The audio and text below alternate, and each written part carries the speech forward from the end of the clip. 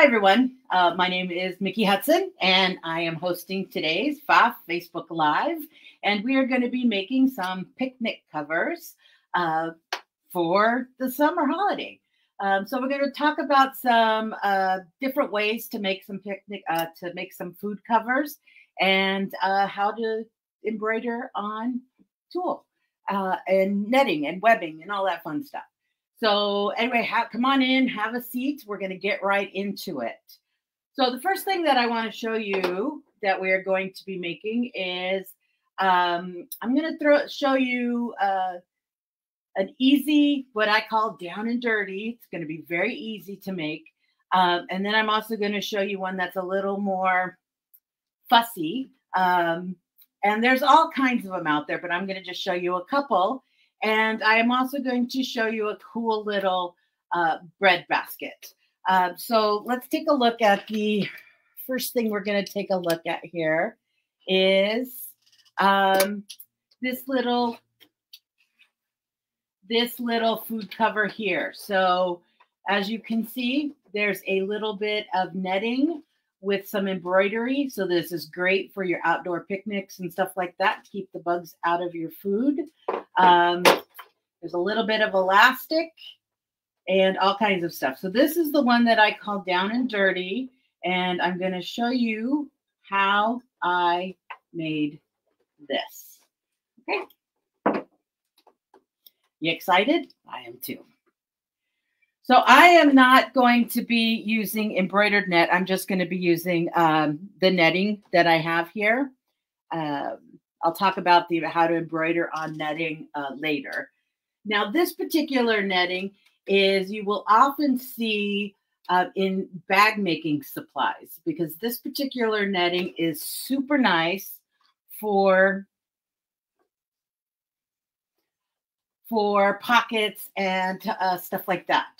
So it's got a very open weave.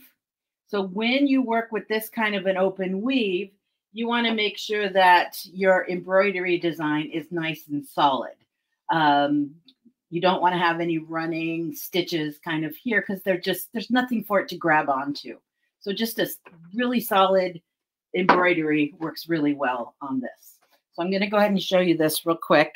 Move my camera so you got a little better angle.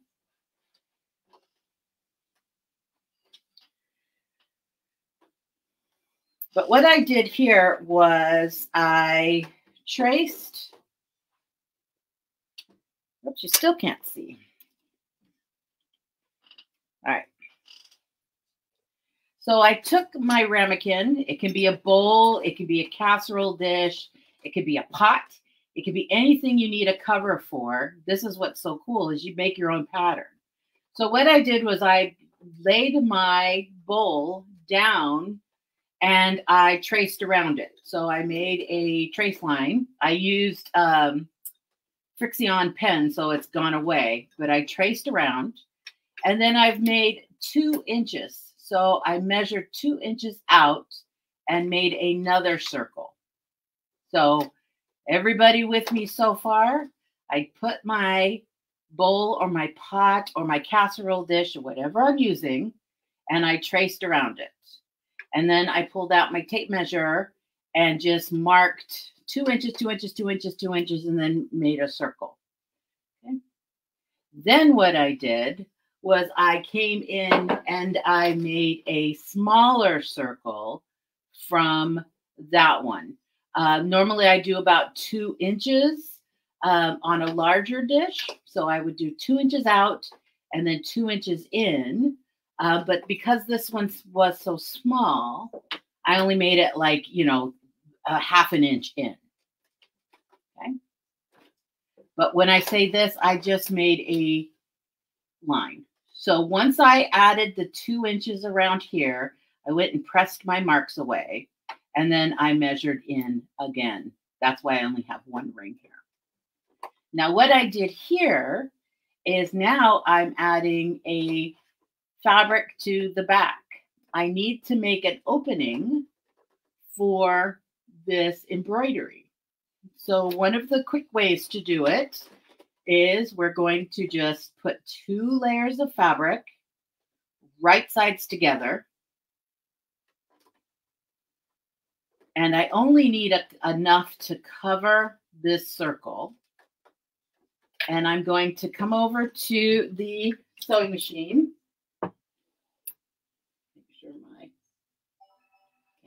on. So I'm going to come over to my sewing machine. So I am on the Pfaff Creative Icon 2, but these these um, the stitches that I'm going to be using are available on all of the machines. So.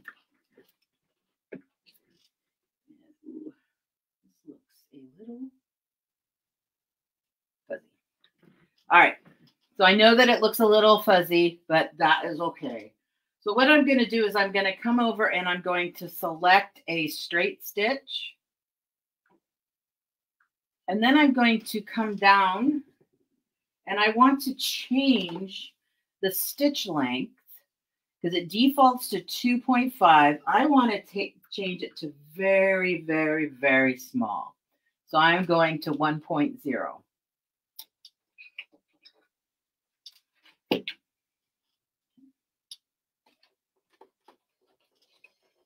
And then I'm going to attach my, just moving my cameras and all that good stuff for you. I don't want to make you guys dizzy. Um, I'll let you look at my look at me while we're doing this. Oh, come on, you little stinker. There you go.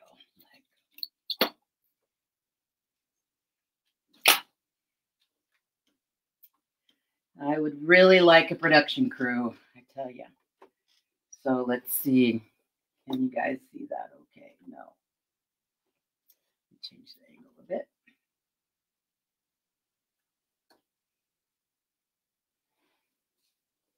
There we go. So what I'm going to do here is I am going to stitch right on the line. So I'm just using my quarter of an inch that comes with the machine. If you have a Pfaff that does not have a quarter of an inch foot, I highly recommend them. Um, I'll talk a little bit more about them because this is just your straightforward quarter of an inch foot. But there's all kinds. There's one with the blade in the middle for like stitching in the ditch. There's one with the blade on the side for helping you uh, with a quarter of an inch. And then there's all these marks, which I'll talk about in a minute. So I'm just going to go ahead and stitch on down. Now again, I am working around my camera.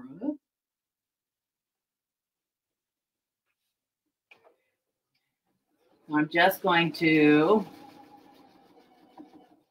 going to get a little fuzzy because I'm going to go fast. And my camera is going to move.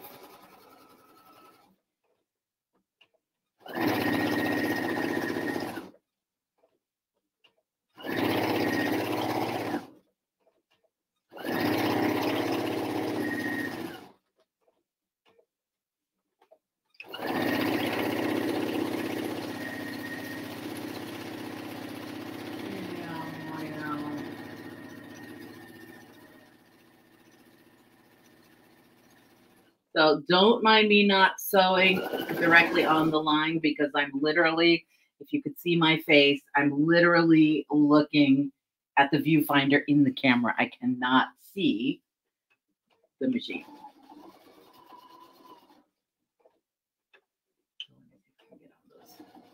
All right. So basically what I'm saying is uh, don't judge me. All right. So you got me here. I've got my circle going on here. So I've got my nice tiny little stitches going on around. Some of you may be familiar with this technique and know exactly where I'm going, and some of you may not. But I have this nice circle here, and I want to have a pressed edge here. So I'm just going to cut right down the middle of it. And then I'm going to come and clip around about a quarter of an inch around. These are not the best scissors for this.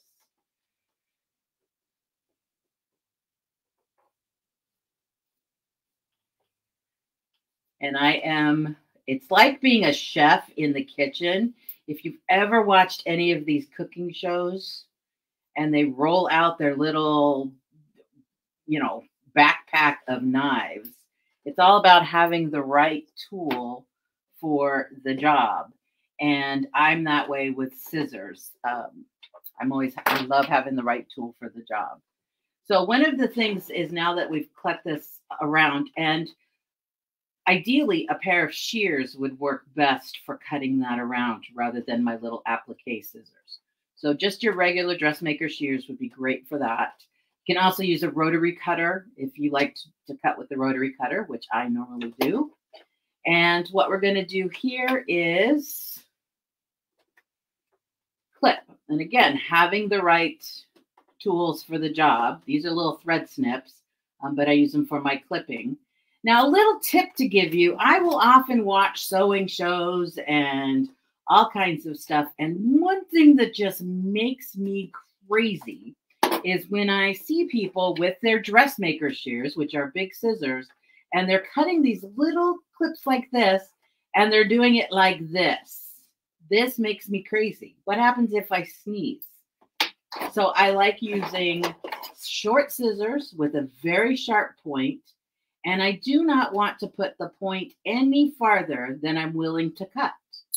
So I just want to be able to snip right to that line. So I just put the, the point where I'm willing to cut, and I'm just going to come around and clip my little seams. But don't ever just get your scissors in there like that. If your points are not sharp enough for you to cut, that you have to go in, go get your scissors sharpened, get a new pair of scissors, do something because it's going to make your life so much easier than cutting with bad scissors. All right, I'm not going to cut all the way around. I think you guys are starting to get the idea. But what we then do is we'll come and I did cut this piece a little bit small. But what we'll do is we'll come and we'll take this and now I can come and give this a flip and a press. I did cut this a little bit small. So I'll flip this over and give this a nice press so that it gives me this nice finished instead of a raw edge. Is everybody kind of getting that? Amy, is this making sense to you? I don't have my class feedback, so I need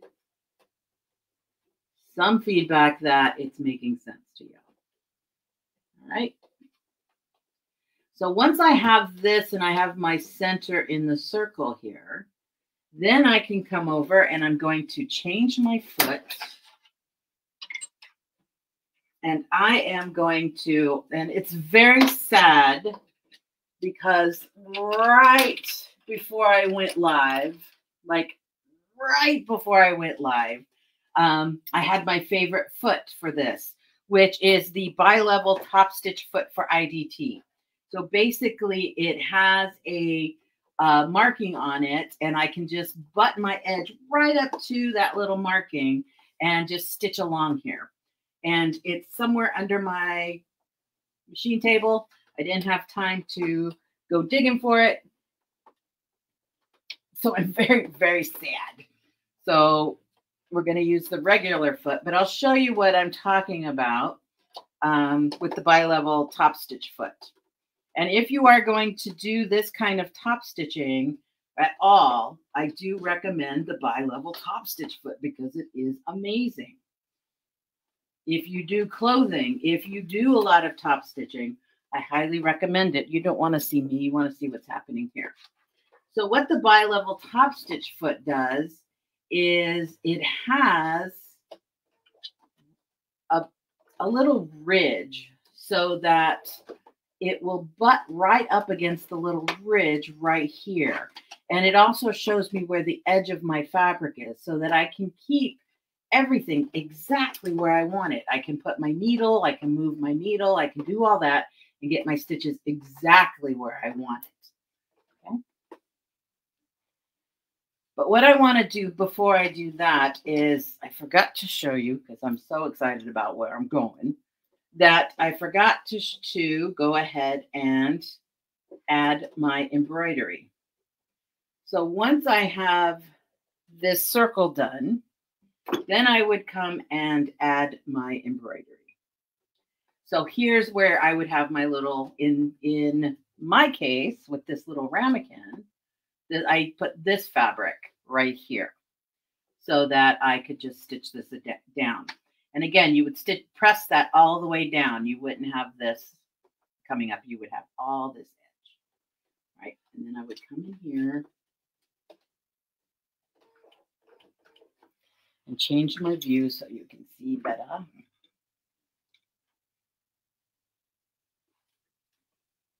we go. Now what I'm going to do here is I'm just going to switch to a zigzag stitch so just a straightforward zigzag stitch. And I am going to change my width just a bit. So I personally like about a three. This is one of those things that this is a personal thing. So even though I've changed it to three, you may go, I don't know what she's talking about. I want a big old six millimeter. It's all good. You do you. Or you could say, I want to do a decorative stitch. Or if you want to be a minimalist, you can just do a straight stitch. So it's entirely up to you. That is a design element. But I'm going to go ahead and do the zigzag. And this is where I really wish I had that. And I'm just going to stitch along. Now, one thing too, if you are going to do any kind of stitch with the width, so a straight stitch, it wouldn't matter. But if you're going to do any kind of decorative stitch or a zigzag or anything like that, when you are working with a curve, whether it's an inside or an outside curve, you want to make sure that if I have to stop to make any adjustments, that as that zigzag is making that on an outside curve like this, it's going to stop on the outside when I make my adjustments. And if it were an inside curve, I would stop with it on the inside. But this is an outside curve. So if I have to stop, I want to make sure that I stop with the needle on the zig that is off to the right. Now, it doesn't matter so much for the zigzag, but it will matter if you are doing a decorative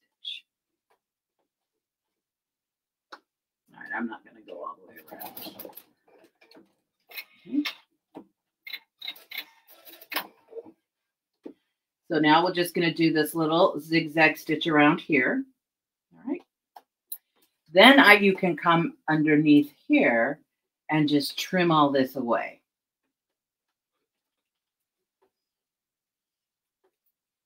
So this is, like I said at the beginning, this is the down and dirty. So for those of you that are going, okay,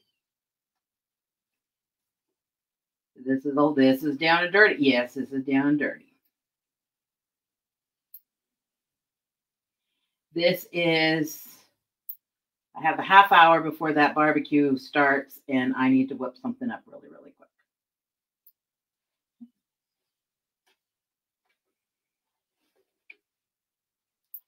All right. Are there any questions about any of that so far? No? Okay, good. All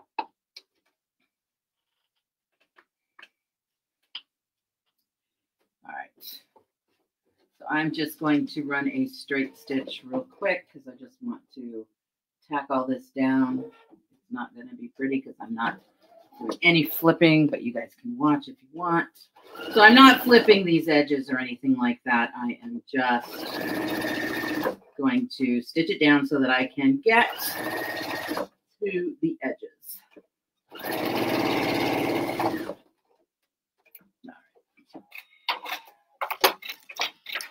And then I'm just going to finish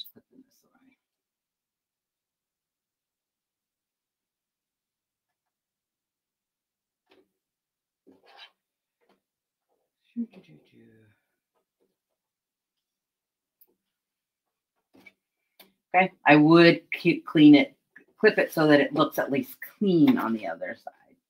All right, but now we have the top done and we just need to finish the edge and add the elastic. So that's what I'm gonna do right now. So when it comes to finishing the edge, I'm gonna go ahead and use my overlock stitch, um, which is uh, foot number three, and it does come with most of your Pfaff machines. And what I love, the reason I'm going to use this, let's talk about this real quick, because this is the overlock stitch. And this is kind of to duplicate a serger overlock kind of stitch. Now, it's not a serger stitch, but it's kind of a, um, a hack of it, you know, a tip, a, a trick. It's kind of as good as you can get without a serger. And one of the things with the what a serger does is it forms stitches right over this pin so that it prevents the fabric from scooching in. And so that is what this foot does for you. And then this little guy adjusts so that you can put your fold or put your edge or anything wherever you want it to be. So you can use this as a guide and that'll feed over the pin. The stitches will feed over the pin. But I am just going to pretty much straight up just do a zigzag stitch along the edge. I am not trying to do an overlock stitch. I am just trying to do a zigzag stitch right along the edge.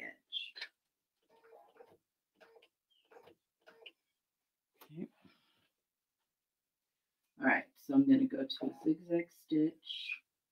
And again, I'm going to change my stitch width. I'm going to make it a little wider. Nope. I'm actually going to, let me show you what I'm doing. Um, so I'm going to go to a zigzag stitch. Okay. I'm going to change my width. I want it to be narrow. But I also want to change the position. So a lot of your electronic machines, um, you can move the needle over. And with the, the Pfaff Creative Icon 2, I can actually move the stitch as well. So what I'm going to do is I want to, whoops, move this way. So I'm going to move it over to the one position. So I don't know if you've know if you can see what's happening, but it's actually moving the stitch over because I need my focal point where I want my focal point to be. The stitch isn't where I need to be, so I'm moving the stitch to where it needs I want it to be. How cool is that? I think it's awesome. All right, so let's get this going.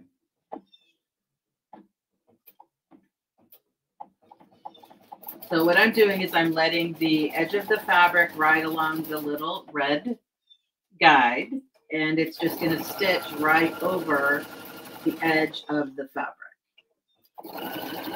And once again, I cannot see what I'm doing.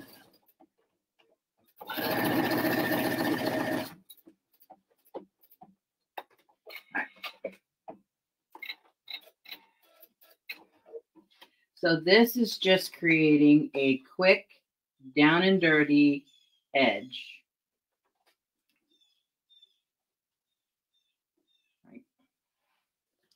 So it's just a quick little edge.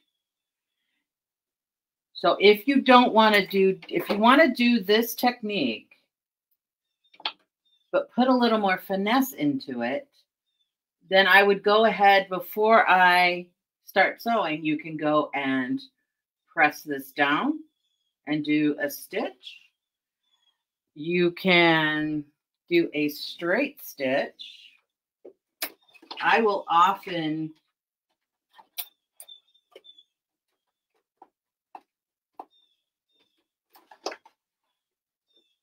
So often when I have something and I just want to press it about a quarter of an inch, I do not bother pressing. So when I have a quarter of an inch hem, all I'm going to do is just burn my fingers. So what I'll do instead is I'll go ahead and, you know, get my hem going.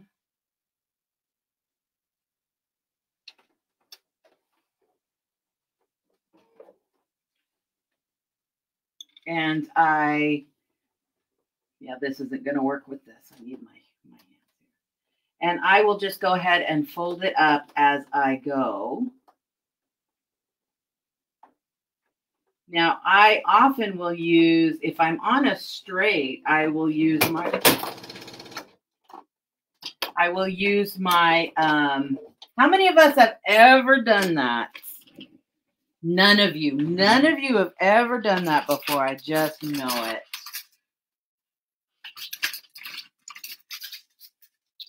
So what had happened was I um, changed my foot, but I didn't change my stitch.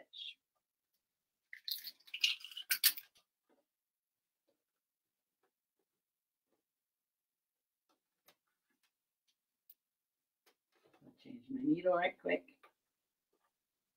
Are there any comments, Amy? Any ouches? That's what I did was ouch.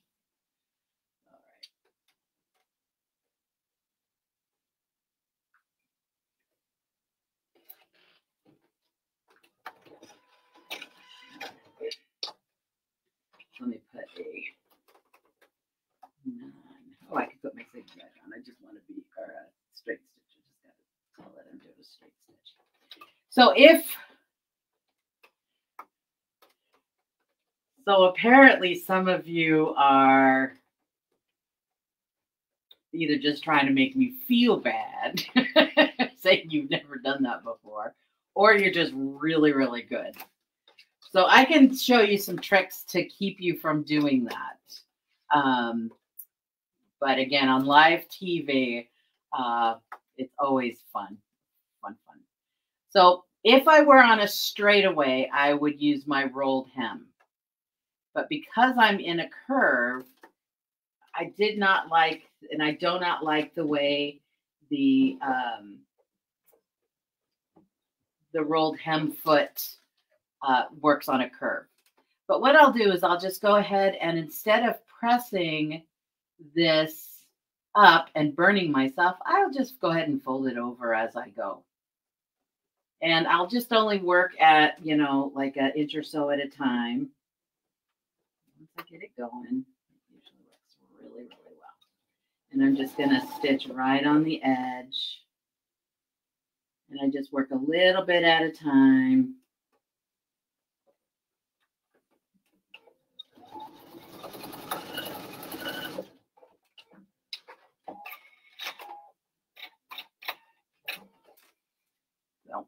You get a nice little little rolled hem um, as you go.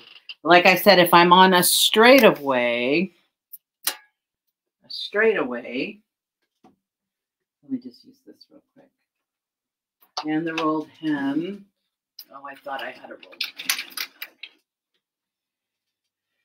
So if you've never used a rolled hem before, or if you've used a rolled hem foot and without success, let me show you a little trick. Because if you're going to make a cover for, um, let's say, a casserole dish that is square or rectangle, you can definitely make the straight of ed straight edges, and it's much. I love rolled hems on a straight edge, and it is one of those things that I used to hate. I used to talk people out of getting this book because I just didn't want to teach it. But once I learned this little trick, um, it's very, very handy. So one of the big things about this foot that's so frustrating is trying to get that to feed into this little curly cue. So we're not going to worry about that. So I'm just going to go ahead and fold over the little hem. And I'm just going to go ahead and fold it over again and get it ready. So all I'm worrying about is that first inch or so. So I just want to make that first little inch or so. And again, some of you may already know this trick, and some of you are going to be amazed. So I'm going to go ahead and lower this down, and I'm just going to take a couple of stitches. So as you can see here, I'm not worrying about getting into the little curly Q.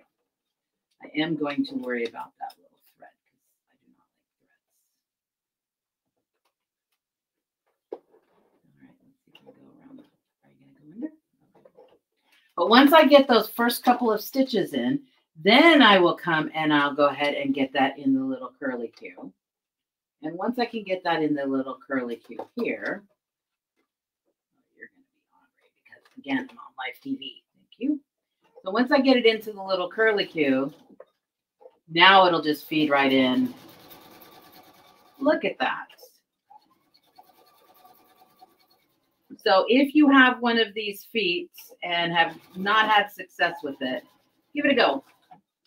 Just remember, stitch it down. Stitch it down and then feed it in. And you will get that nice little rolled hem. Ooh, oh, wow. So if you have the flat fell foot, it's the same thing too. It's just get the stitches going beforehand and then feed it in. But again, like I said, when it came to the curve, it did do it and it did it nicely, except because it was on a curve, it did pleats every now and then. And I just personally didn't want that. Any questions about any of this? Okay.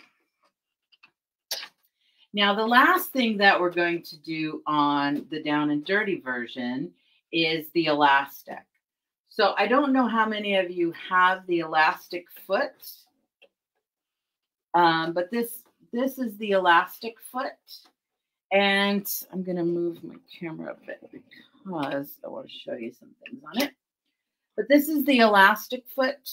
Um, and this is a really cool tool that uh, some of you may have and have never used because it's it's kind of scary um, or you don't know how to use it. Okay, because it is a weird looking foot.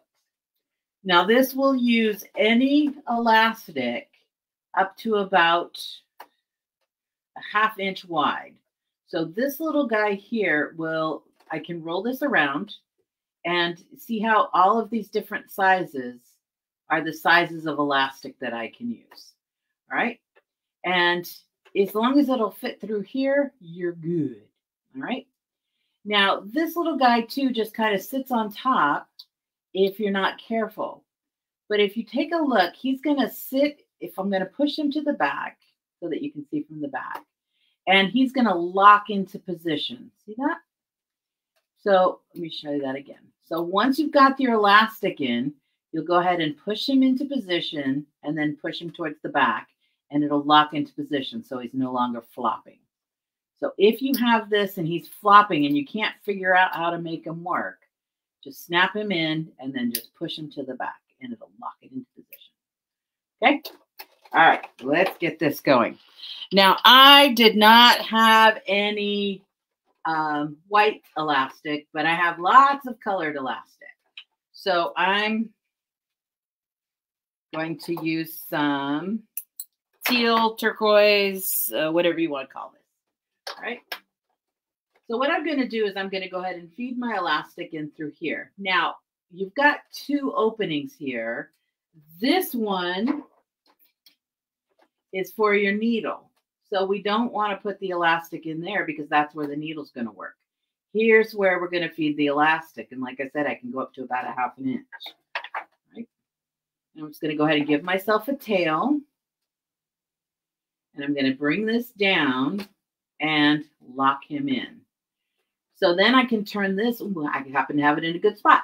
But then I can turn this little wheel before after and make sure that this is right where I want this to be.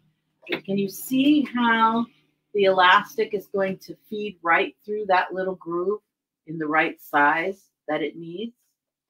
Now, what this guy is going to be doing here is this is going to be creating some pressure on the elastic.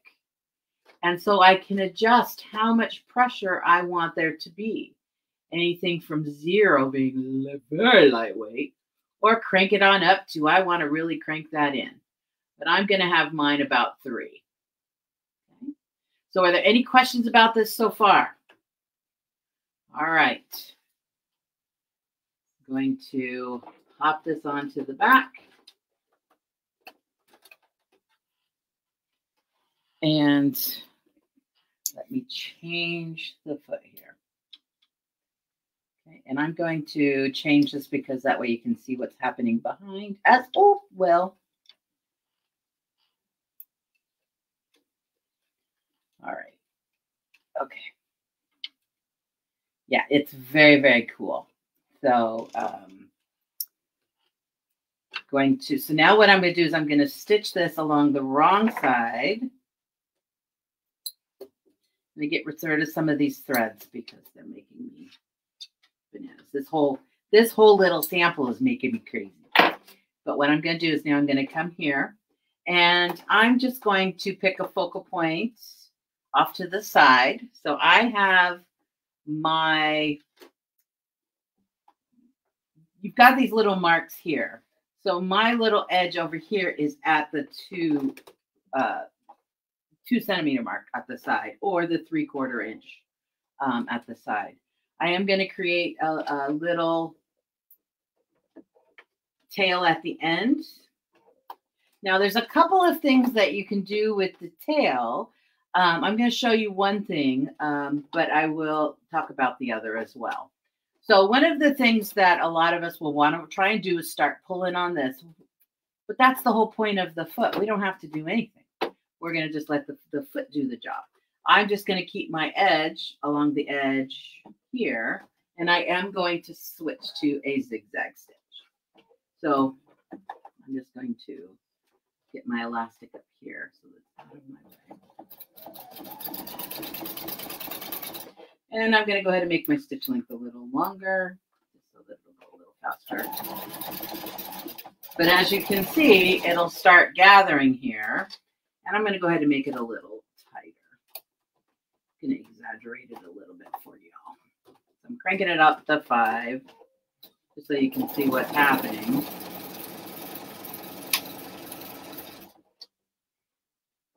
But can you see it gathering on in there?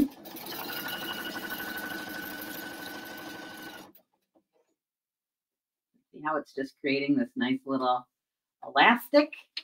Ooh, ah, wow, all right. So let me just come around. I'm going to show you one way I end this. Get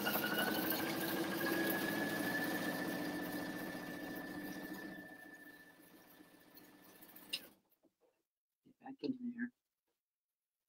And this is because I pulled on it. This is why you don't want to pull on the elastic. Want it just to feed right through is because when I pulled on it over here, I got it out of whack. So don't pull on it. Let it feed through little guide. Now, when I come here, this is one way to end it, is I'm just going to go ahead and, oh, I know why it's having issue. Because I have my position over. Okay. But what I'm going to do here is I'm just going to overlap it. So when I come to this part, I'm just going to go ahead and overlap it just a bit.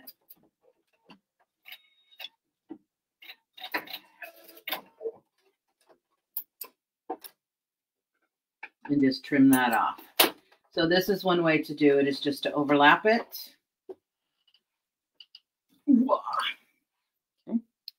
but this will create that that nice little elastic. And this is how I did this little ramekin. And let me show you here with the start and stop. So again, I just overlapped it right at the beginning and at the end to stop it. Another way that you can start and stop is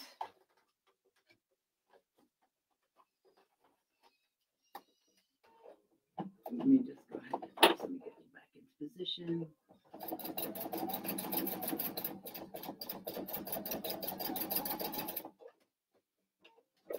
All right, you're too crinkled for what to do.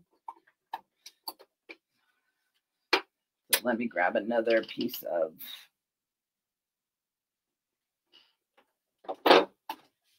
fabric.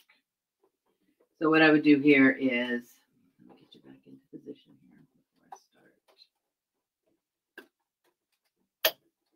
Whoops. Come on, you little stinker.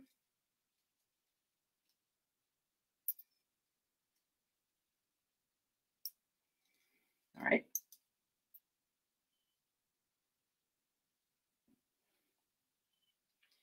Get back in there. You go. Lock in.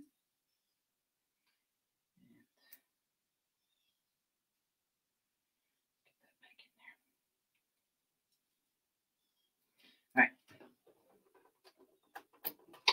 There we go. So I've, I'm going to leave myself a tail. I'm going to leave, use this back up three because I have it way, I have it DEFCON 5 here. Turn it back to three.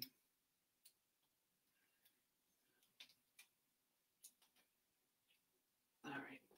There we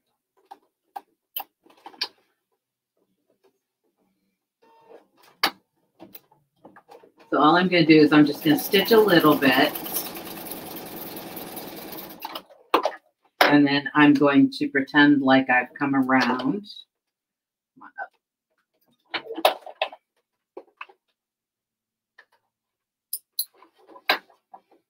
And I'm going to pretend like I've come around the other side.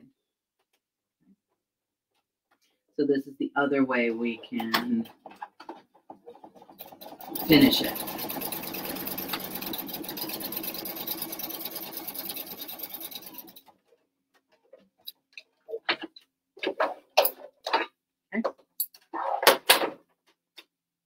So like if I were going to do um, a drawstring or anything like that, but this is the other way you can do it is to manually get it clean, clean, clean, and then just run the zigzag over it yourself. Right. So now I can just come back and put on my regular foot and I can see what I'm doing and zigzag that up. But as you can see, the overlap is my favorite because if you would have not, if I would not have told you, you would not have known that. You would have not seen it. But this is the nice little ramekin how to. Ta-da! All right. So let's talk a little bit before I go into some of the other stuff that I want to show you.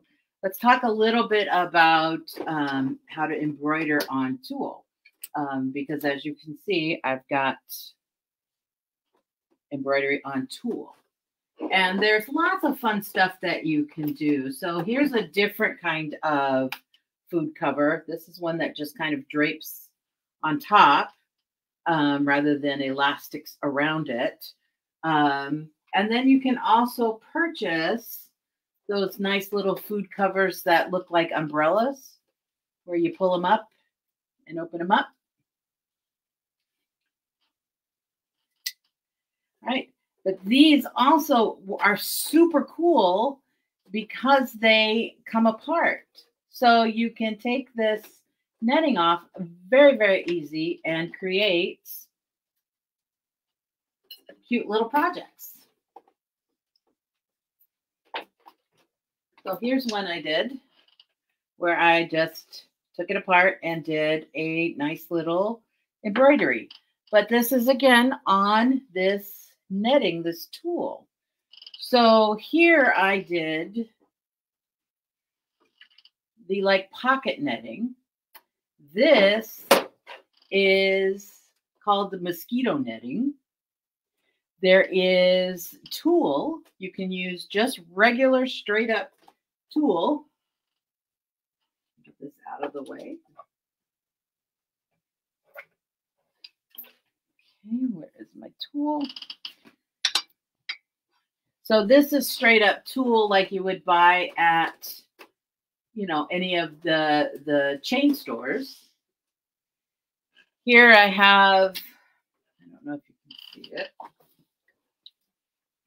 So this was an idea that I got from a high-end designer who had a jeans jacket with tulle. Um, and they just cut out the yokes in the back and all that kind of stuff. And so this is this tulle. I just used black instead of yellow. I cut out the little yoke part. I'm still working on the back, but then I just added, you know, so this is turning up into one of these thousand dollar jackets that you buy on those high end designers that I'm never going to spend that kind of money for. So you can use regular tulle. You can use pocketbook netting. You can use screening. So like pet screen, all that kind of stuff. Um, any of this, any of this stuff. And this pet screen, you can also purchase window screen. So the window screen, um, you can get them in the little kits. So you can take out your window screen, embroider on the, the window screen, pop it back in. It comes with a little tool to get it in all the little nooks and crannies, and you can embroider screen. Another fun thing to do with embroidered screen is to make little um, window hangings. So you can embroider on the screen and hang them in your windows. So being able to embroider on netting and screening is so cool. So, ooh, I'll come back here. So a couple of things that you need for, let me don't make you sick here. So a couple of things that you do need when you're working with um, netting is water soluble stabilizer. So here I have Aqua Magic. So there's Aqua Magic, which is my personal favorite for my hoop stabilizer. And then I like the different dissolvaways for on top. So there's clear and melt, which does not work for this because you really have to melt it with an iron. But this is dissolve away light, and here's a dissolve away heavy. So there's just all kinds of stuff that you can use when it comes to the water soluble. So whatever level you're at and however much security you need, uh, you got it. So, but this is the combination that I use for all of my embroidery. It was a water soluble, the Aqua Magic on the bottom, and the dissolve away lightweight on the top. And the metal hoops, if you're not familiar with the metal hoops, the metal hoops are fantastic for this because I can lay my stabilizer down and I can even tuck it all into position and get everything ready to go. Then I can come and lay my tulle down. And when I do this, I can make sure that it's all nice and smooth before I start. So I don't want to pull on it. I just want to make sure that there's no pleats or wrinkles or anything like that. So I don't want to like start yanking on it or anything like that. Um, and then once I have that and it's all nice and smooth, then I will come and lay my topper on top. And this is where I can move my magnets around and keep everything nice and smooth. Okay. All right. So let me switch over to embroidery.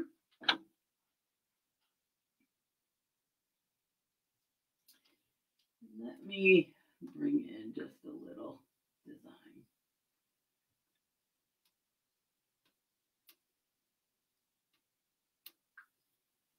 I'm just going to go grab one of my little mini designs. So all of these other designs that you see here that I, I've used. So these little clovers, they came from the sorry, hold steady, hold, hold steady. Um, they came from the library. So I just used these little clovers from the library. This little guy here, I just used some bees from the library. So I just grabbed a couple of bees and a flowers and some bugs and just really simple. But again, you can see this is embroidered on that very lightweight uh, mosquito netting kind of stuff. So you can go really, really lightweight. And let me get you guys out of the way. Okay. All right, but I am going to just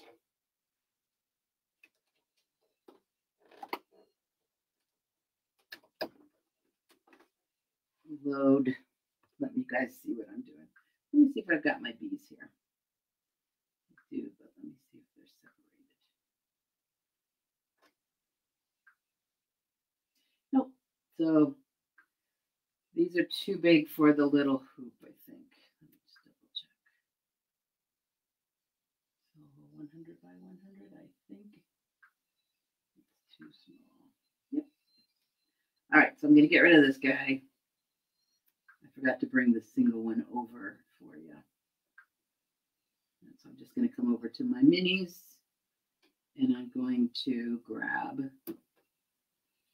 one of my little, my little guys here. Oops. Hello. All right, so this is a really small little design.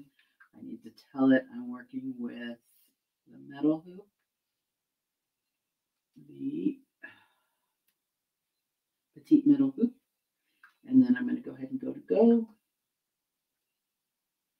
And I'm going to tell it okay. I'm going to switch my fabric or my thread right quick.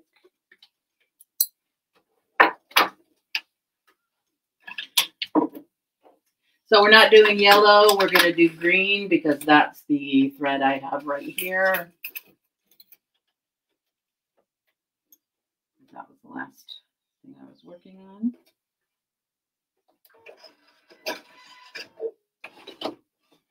So I'm going to go ahead and attach this.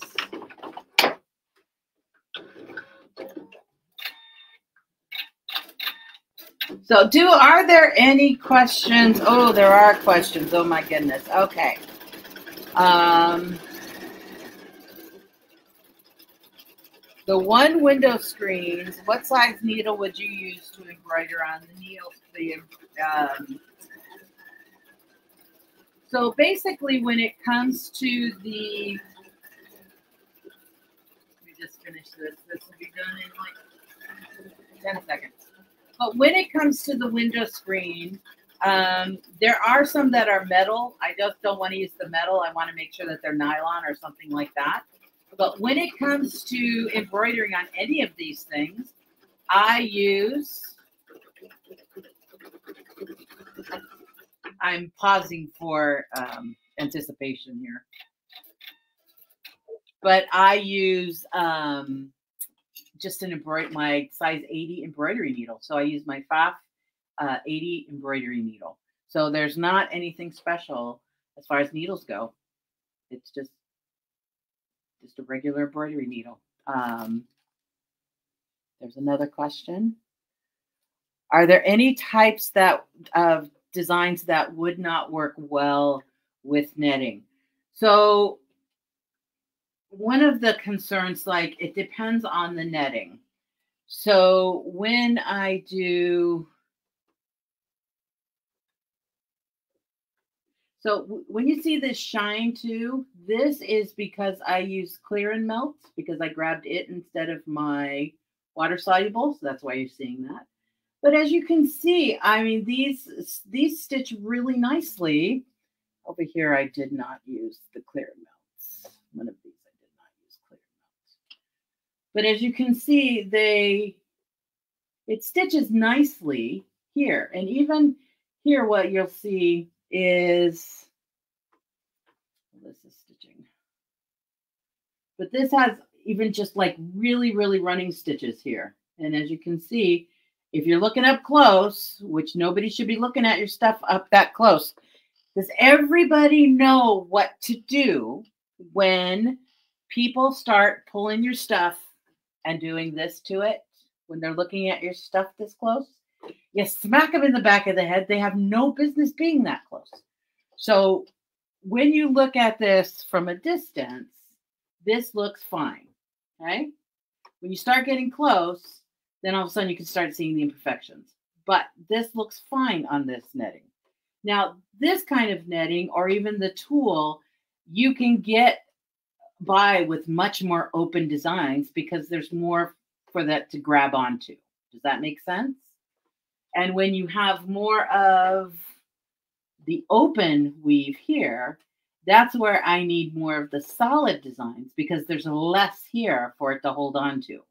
So having a more solid design, it starts holding on to itself as well. But I have not seen anything that doesn't work really well. Um, it just depends on the type. Now, if I would have done that little, um, like for instance, if I would have tried to do this little candle wicking stitch on this, can you see where some of the stitches might just fall into the great beyond in between where there's nothing for it to grab onto? Is that making sense for you guys?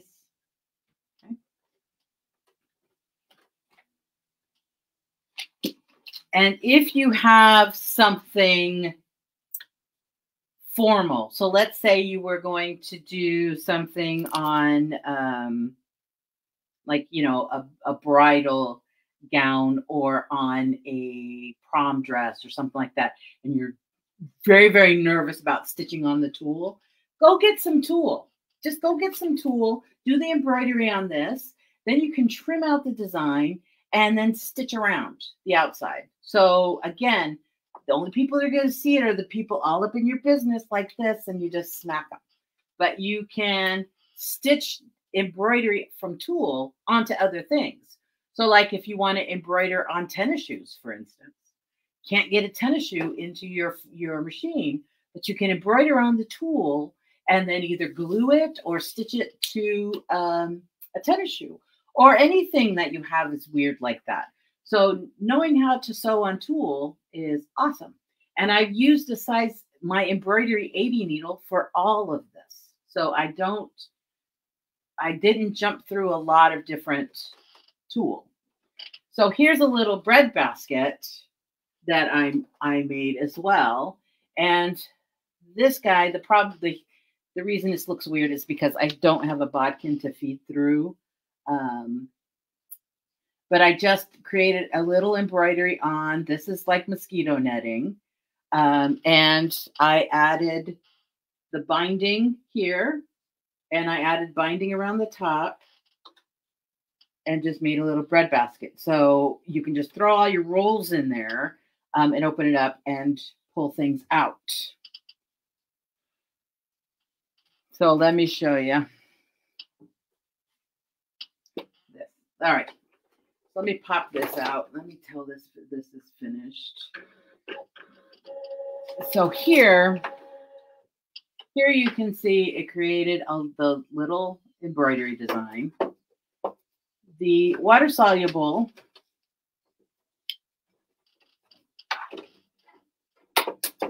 this can just go ahead and just pull off. And then you can save this for later. And then I usually will trim this down.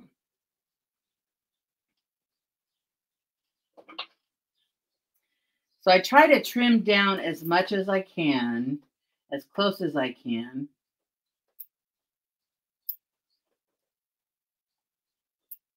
And I again also save this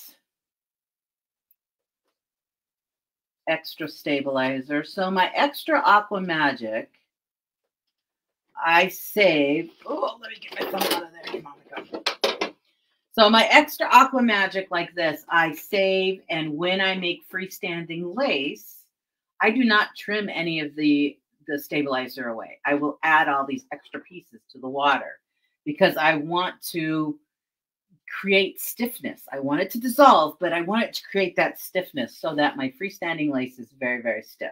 And by adding extra of this into the water, that does help create, it's almost like adding starch to your freestanding lace. So I like to do that. And then this guy makes great little pieces if you just want to cover up little bits and pieces, or like if you're doing buttonholes, stuff like that. It works really well. Um, but this is what I'll be left with. And then this I will take over and just throw in a bowl. I just throw all my, my stuff in a bowl and just let it uh, dissolve.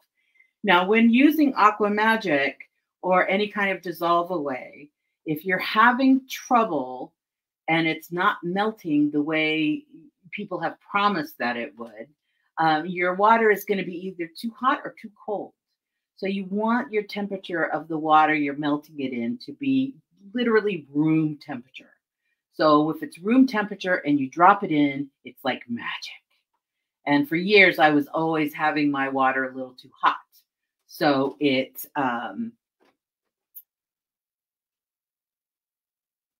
oh, so it would like goo instead of heat. So one of the other things that I want to show you, I know that I'm out of time, but I wanted to show you one more. I may not be able to show you the whole process of making it, but you will kind of see the idea here. All right. Um, but when I did my little down and dirty one, Come here, little stinker. So when I did my little down and dirty one, um, I didn't have any raw edge. This wasn't very clean, nothing like that. So it was just all raw, raw, raw. But on this one, I want there, I want it to be clean on both sides. So I did the same trick here, where at the beginning, when I put my two fabrics right sides together and I stitched around here. The difference that I did here was I ran a basting stitch. So I basted it, I flipped it, I clipped it, I flipped it, I pressed it, and then I took the basting stitch out so that I could lay it on top of each other. And I can come around here and stitch that again. So here I can use the straight stitch or I can um, do a zigzag stitch, etc but I can stitch that up. And then because I have the two pieces here, here I would just use, and I'm just going to grab a little piece and show you because I'm out of time to show you the whole thing. But you've already seen me do this, so I'm not going to do this again. This is the netting. Let me bring this up so that you can, I mean, this big pet screen. But look how beautiful it stitches. So, I mean, you don't have to put any extra fuss into it. It just stitches gorgeous. Um, and whatever you're going to stitch on it, whether you're going to make a bag or whether you're going to do a window screen or whether you're going to make food covers, um, it's, it's, it's good. So let me just pop this on. And actually, I'm going to pop my my quarter inch because I am going to show you this as well. So one thing about the quarter of an inch that I told you all these little marks on here were cool and why I recommend getting these quarter inch feet for all kinds of different things is because all these little marks mean something. All right. So let me just cut a straight edge here.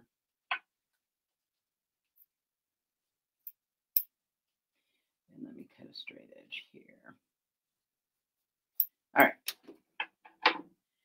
But as I'm going along, and let's say I wanted to stitch along at a quarter of an inch and I want to turn at a quarter of an inch. That's what all these little marks are for. But that's what all these little marks are for. So right at the edge of my foot here, this is a quarter of an inch. This little guy here, this mark right down the center, is where my needle is. And this little guy is a quarter of an inch from this needle. And this guy is a quarter of an inch from this needle.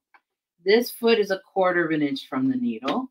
The inside toe is an eighth of an inch. So when I want to do edge stitching, you can use that. The um, the quarter of an inch with a blade, with a guide, has a blade right here. The stitch in the ditch has a blade right in the center. But these guides here, so sorry, so sorry, I've just bumped it, sorry. But these guides here really do help when you're doing turning or when you want to do like echo quilting or anything like that. So I'm going to stop with this edge to this quarter of an inch line here. And when I turn, you can see, look at that, right on that quarter of an inch. But this is why I love all these feet. Um, so I do have I do have all of the feet with all the little blades because I use these little marks all the time. Okay, so like if I wanted to do an edge stitch, I can do that as well. So in this case, I'm just going to use the inside of my toe.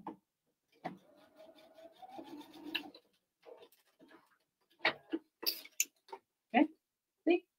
Go! All right, so let me show you this real quick because when it comes to this, so I would just go ahead and stitch this around like so. And then when it comes to this, you can use like pre-made binding. You can make your own binding. This is just a half inch uh, binding, but I'm just going to go ahead and open this guy up. And I am going to fold this over. And I'm going to go ahead and stitch. Right in there. All right. And I would just stitch around. All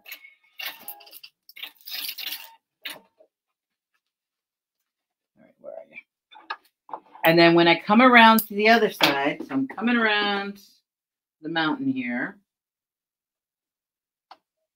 So I'm coming around the other side.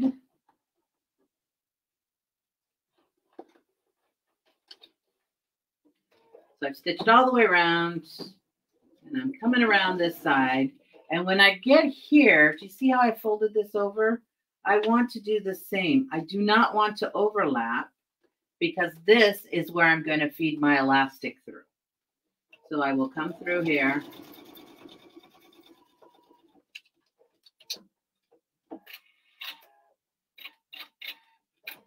And then when I'm done, I will come and wrap this around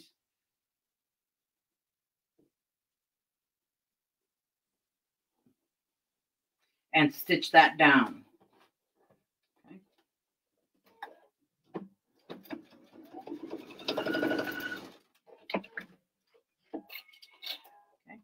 So if you're going to make your own bias strip, make sure that it's on the bias because if you're going to go around a curve, if you're going around a straight edge, you don't have to worry about that so much. But we don't want these, oops, I lost some threads but we don't want these overlapping because this is where we are going to feed our elastic through. So we'll feed our elastic through, and when your elastic comes up, we'll just zigzag the ends together. So you feed your elastic through. I just want to show you for those, some of you may not know, but we'll feed that through. So they'll have an elastic piece sticking out this it, through here. And I'll have another piece sticking out here. And what I'll do is I'll just overlap those and zigzag and then trim it up. Okay. Okay, any final questions? I know I went over, I apologize for that. Um, are there any final questions that I can answer? Um, so if not, I want to thank you for coming. The next Pfaff Facebook Live is going to be Thursday, July 6th at 2 p.m. Central with Meredith McClanahan. Um, she's going to be having teaching tips and tricks for sewing and creating with rope. So um, I know rope is uh, rope projects are extremely popular right now. So make sure you tune in. That's July 6th at 2 p.m. Central. And the next My Net Live is going to be Wednesday, July 12th at 2 p.m. Central, again with Meredith. She's hogging all the Facebook Lives. And she will be creating an in the hoop zipper pouch using designs from the Word Sculpt Wizard. So, Word Sculpt and an in the hoop zipper pouch. Hmm. So, make sure you tune in. That's going to be July 12th um, at 2 p.m. Central. And I want to again thank everybody for coming. And as always, I will peruse the comment section for a while. And if there's any further questions, um, you can always come back and ask, and we will make sure we try and answer them. So thank you. And until next time, see you in July 6th. Bye.